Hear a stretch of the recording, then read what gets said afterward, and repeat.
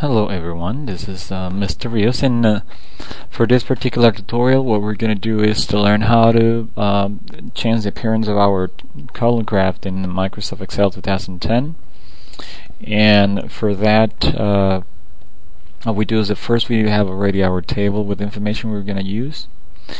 And well we first select in this case uh, the prices for the first item which is going to be the Doritos.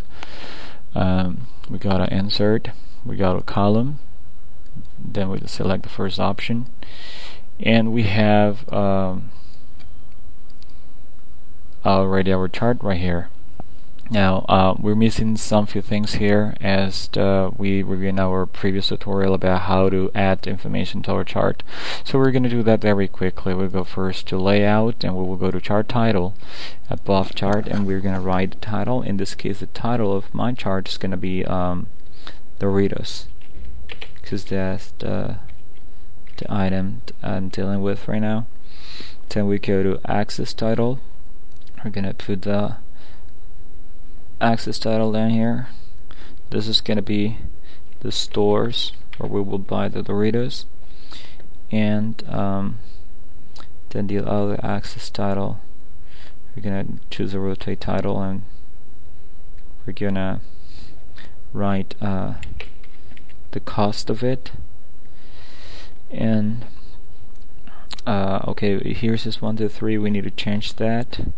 So we will go here. Oh before we do that we want the outside and data label so we know what each column represents. Then the design we go to select data we go to edit and what we want is the name of the stores. So that's okay. There we go.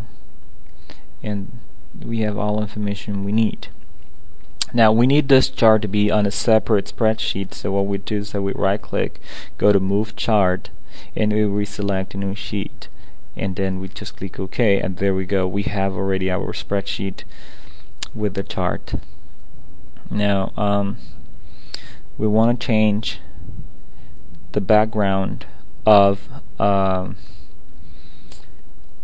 the the chart. So we go to plot area here in the layout to more plot area options. We go to fill this option here right here and then we put solid. But as we did sorry uh, we put picture then from file. And we look for our Doritos image right here. We insert the Dorito image we close it and there we have it as part of the background. Now um, we need to have every single column with a different color the color according to the store. So we're gonna use for target red. And let me click here double click here. And let's uh, change the color to solid. Red is a good color for target. And let's change the color for Walmart. Walmart is kinda like blue but I don't like this blue so we'll try to look for a better blue for Walmart so um, there's this one. And well probably can't see the difference but to me it's a bit different.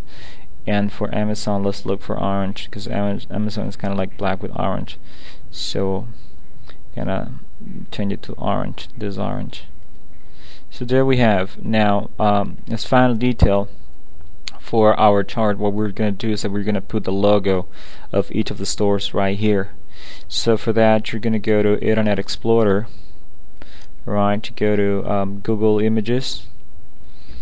And uh, on Google Images just type for example um, uh, uh, um, Target logo. To get the logos from Target. Alright let's just get this one. I usually like to work with the full size image. You copy this go back to Excel and um, paste to make it small enough as it for it to fit inside. And there you go. So we will do the same thing for Walmart. Go here right Walmart.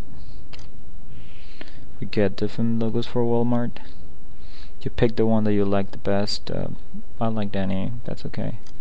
So let's see the full size image first. Then uh, copy. Let's go back to Excel.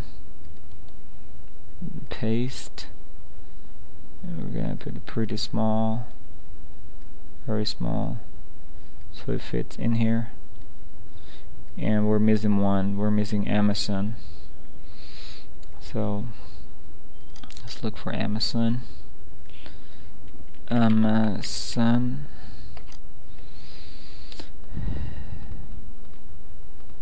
And that's it.